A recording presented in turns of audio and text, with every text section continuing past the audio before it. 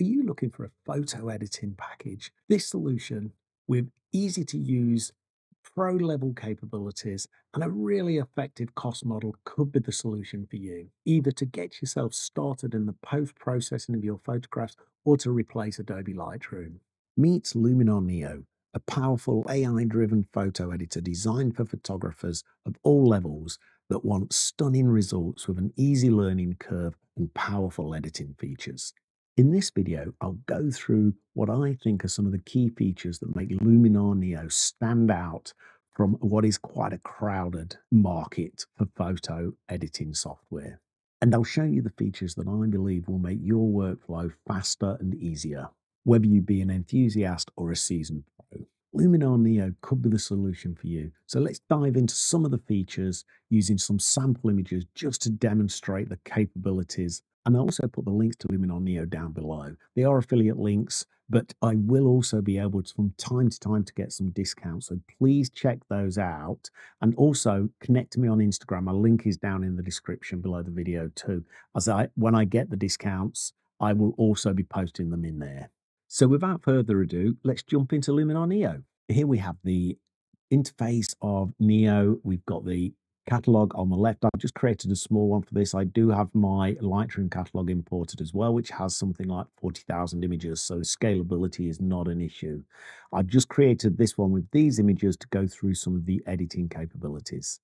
We have basic menu operations that you would anticipate, such as catalog management, importing, exporting files, etc. We also have a number of presets that can be utilized, and I'll cover these a little bit later. And then we have the main editing screen as well, and we can see all the options down here. And I'm going to go into some of these right now. So what I'm first going to do is pick this image just to demonstrate some, some of the core capabilities for image improvement.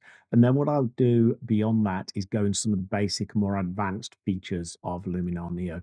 I'll create a virtual copy I will now expand that. You can see this image, it's a little bit out of focus.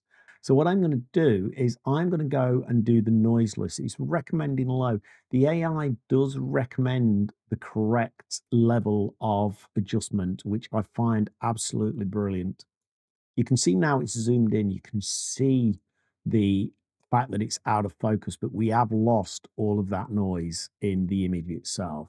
So this is one of the techniques to really improve the images that you may want to normally discard, but you can actually now keep them. So what I'm going to do is then go to the super sharp option. You can see our image here, slightly out of focus. I'm going to do the middle option of the three. When Luminar does this, it does actually process all of the options and then you can select the one that you want. So it's now finished processing. Look at the difference in that image. You can do the before and the after, and you can see how it's sharpened up that image, got rid of any noise. You can also split the screen. The, the, to the left of the line is the unprocessed image. Part of the screen to the right is the processed image. So if I scroll that over, you can see now, you can see especially around the head detail and the wing detail, it's a little bit out of focus. Come through, you can see how it's sharpened that up. Okay, let's now go back to our catalog and we'll go through some of the basic editing. I'm going to pick this image here of the Faroe Islands. I'm sure some of you may well have seen this location before. And you can see how dark the conditions were on the day. So let's just go into that. You can see here, it's nicely in focus, but it's quite a dark image. So I'm going to go through some of the basic image improvements of Luminar Neo now. First things first, I will create a virtual copy against which to work against. And I'll go into the edit options. So now that we're in the develop module, let's go to the actual core development of the image. I want to raise the exposure a little bit, bring up those shadows. The other thing I want to do, which I often do in post processing, I wanted to auto fix any chromatic aberrations and also auto defringe. We get high areas of really high contrast. Those are particularly useful. Before going on, I will just switch the profile to camera landscape. This was shot on the 90D when I was there. Um, some of these images are from the 90D and some are from the R7.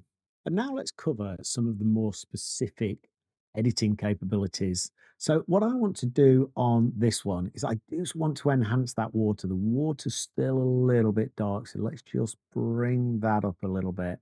You can see it's just adding color to the sea now for me. So that's too far. I just want to give that sea a little bit of color. At any time, we can go back to the edits that we've already made by clicking on the edits button up here.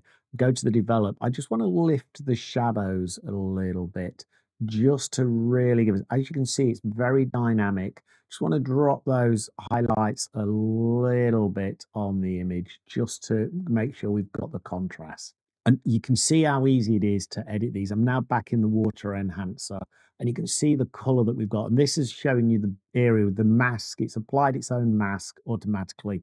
And that's the area it's actually applying. So we've got some nice color in that now. But now I'm going to use the relight. This is a great one. You can see here we've got a number of options. The near, the brightness now, I want to really pull forward the brightness on the close up. I'll look at the depth in a minute, but what I want to do is take the brightness in the distance down. You can see that it's created the, the foreground has been really bright. But what I can do is push that back. I want the waterfall and the village at the foot of the mountains to be in focus, in not in focus, but in the bright area for me. I've probably over brightened that a little bit. So now I can go back to my edits, and what we've got is we've got a bit more contrast in the sky.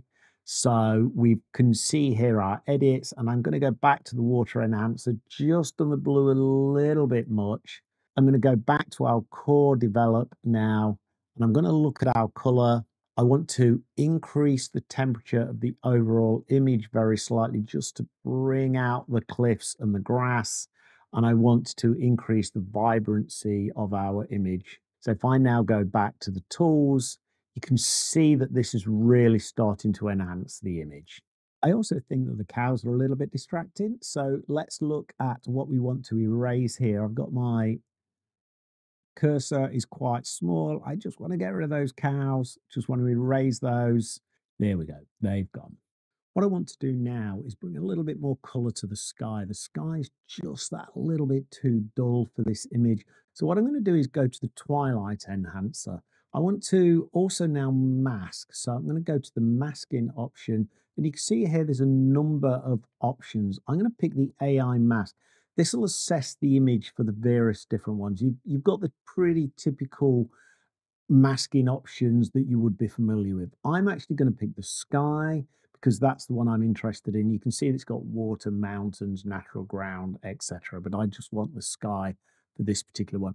You can see it's picking a little bit of the mountain and also it's just missing the horizon that I want to include as well. So if I go back on the mask, then I will select the brush and I will erase. So I want to erase everything in the mountains. I don't want those as part of my mask. And also when I paint, I just want to include the horizon just to give it that little bit there overlap onto the sea. So now let's go to our adjustments. I'm going to pick blue and now you can see it's just applying it to our mask. It's not applying to the whole image. I want to I want to really increase that. I want to give us a bit more detail in the cloud. Just drop the exposure just a little bit on the image. And if we just close that window now, I can show you the before and after. That was our image. Whoops, that was our image before.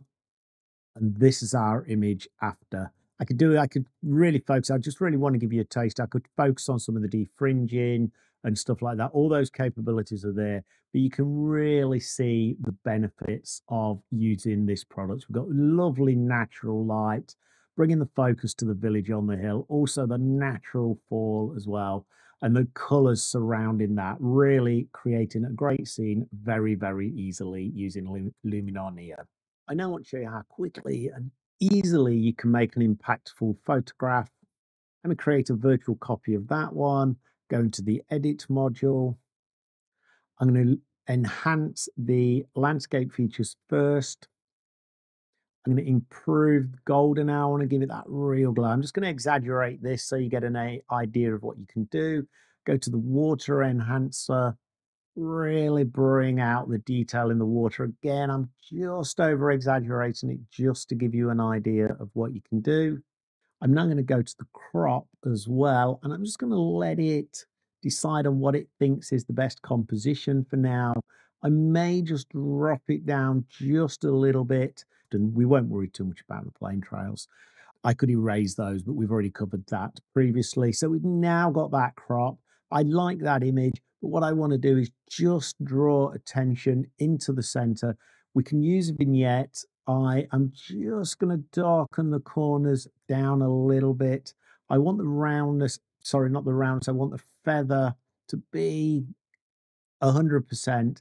Now you can select the subject. I'm actually not going to pick the sun. I actually want the subject focus to be not down here, but I want the vignette to be centered around this so it brings the sky down and doesn't uh, darken down the top corners sorry, doesn't darken down the bottom corners quite so much. And I think that is as quick as it is to edit an image.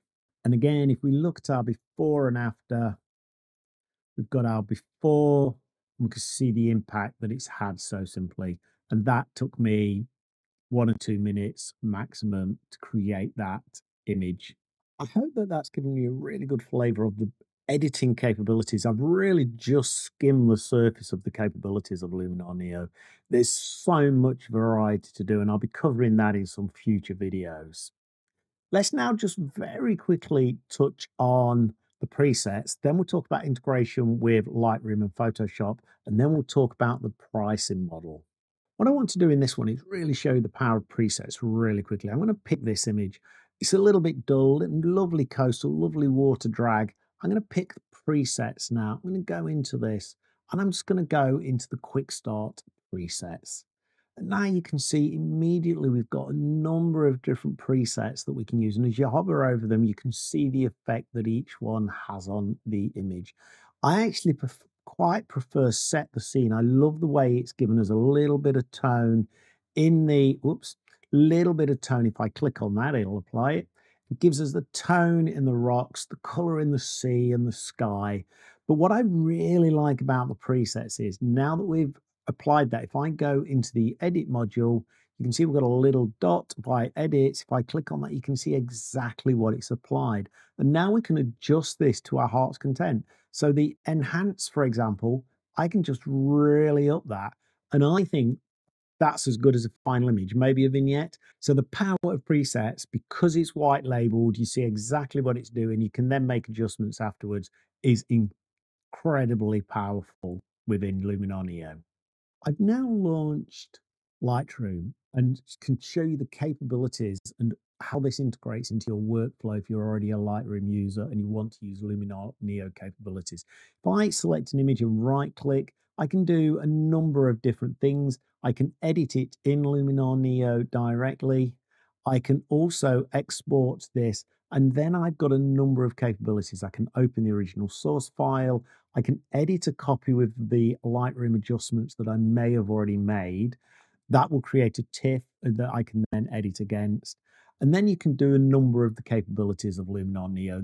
I've not covered those. Those are for future videos. If I open that source file, you can see here, I've got my source file open, and now I've got my edit and my presets. You notice I haven't got my catalog because I've this is now just incorporated into part of my workflow, and I've got the full editing capabilities of the actual Luminar Neo software now.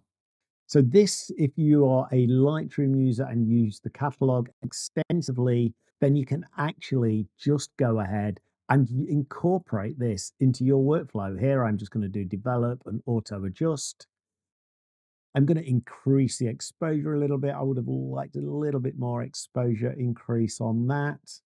And let's just now apply those. And now that we're back in Lightroom, you can see that we've got our original untouched image and we've got the Luminar Neo edited version in TIFF format. And now we can actually develop this within Lightroom if we want to, or we can take it backwards and forwards in Luminar Neo or just launch Luminar Neo. So in terms of your existing workflow, it fits seamlessly. And this is exactly the same for Photoshop as well. So you don't need to adjust your workflow. if you are already a Lightroom or Photoshop user. What about pricing, I hear you say? Well, I'm based here in the UK, but the model is the rest globally between the two businesses. You've got Adobe that have your subscription, whether it be for Lightroom plus quite a bit of storage or Lightroom and Photoshop with not quite so much storage. And then you've got Luminar Neo, which offer a perpetual license. Now, the big difference here is that Luminar Neo, the perpetual license with a number of upgrades, also is approximately just over half the price of an annual Adobe subscription. If I get the desktop version, whether it be on Windows or Mac, and then the mobile version, then it's probably about two thirds of an annual subscription. So actually, the price is significantly less, and you're not invested in that subscription and you're not tied to that particular subscription, which I think is actually the way ahead. I I've been using Adobe Lightroom for quite a while, and it just the the subscription model is something I'm not a big fan of. I like to own the software, be in control of my environment. So this is something that you really need to consider.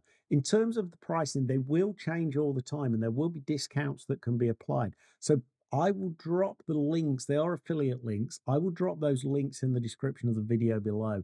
And that will include the prices that are current because it will link you straight to that. And if there are any times that I get a discount, then I will also drop those below and I'll also put those onto my Instagram feed so that you can see that. So be sure to follow me on Instagram too. Luminar Neo is now part of my basic workflow. I'm still using Lightroom because I've got so much cataloging, so many keywords, so much information stored in the Lightroom database. What I will be doing though, because Luminar Neo has 99% of the capabilities that I use within Lightroom, and those few, I, for example, I virtually never use some of the AI capabilities of Lightroom because I, I'd like to see the original images and use it for post processing, not generation of images. The one thing I cannot really do right now is export all of my catalog out of Lightroom. So, what I'm going to be doing is over the next few months, I'm going to be looking at Darktable as a potential option. And I'm also going to be looking at Adobe Bridge as a potential option as well. So, so remember to hit that subscribe button so that you see those videos when I drop them. And I will be dropping more videos on Luminar Neo in the future as well. In conclusion, you really need to consider and choose Luminar Neo if you want a fast, rapid, AI driven post processing editor for your images to really deliver an easy and rapid process to deliver your final visions. It also comes at a much better price point than some of the main competitors out there, particularly Adobe Lightroom. Essentially, Luminar Neo gives you a professional editing capability with a beginner level style and ease of use capability, and at a price point that is to be liked. So I hope this has been really useful in terms of your thought process, whether Luminar Neo is right for you to replace Lightroom and whether just this very small taster of what it's capable and how quickly you can edit images for your final vision of your photos. I hope that that has come through today. Please remember to like and subscribe to the channel and also check out these videos next. Thank you very much for your time in watching this video and until next time, thank you and see you soon.